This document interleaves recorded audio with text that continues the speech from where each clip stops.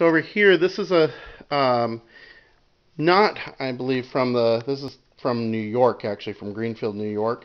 These are Cambrian stromatolites. Now, stromatolites are a kind of bacteria fossil. Now, each one of these big blobs is not a single bacterium. It's actually a giant colony or many, many layers of giant colonies of bacteria. Now, these are a particular kind of bacteria that made oxygen. They were amongst the first uh, organisms that made oxygen for our atmosphere, and they are responsible for the fact that you have an oxygen atmosphere and an ozone layer to keep you from being sunburned to death.